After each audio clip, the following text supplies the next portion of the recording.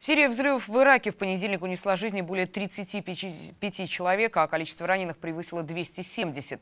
Взрывы прогремели сразу в нескольких городах, причем практически одновременно. По данным МВД Ирака, в утренний час пик террористы взорвали 12 заминированных машин и 3 фугаса. Только в одном Киркуке прогремели 6 взрывов. Атакам подверглись арабские, курдские и туркменские кварталы. Погибли 9 человек. В Багдаде два человека погибли и 17 были ранены, когда два заминированных автомобиля взорвались у КПП охранявшего въезд в аэропорт. Взрывы произошли также в Самарии, Хилле и Тикрите.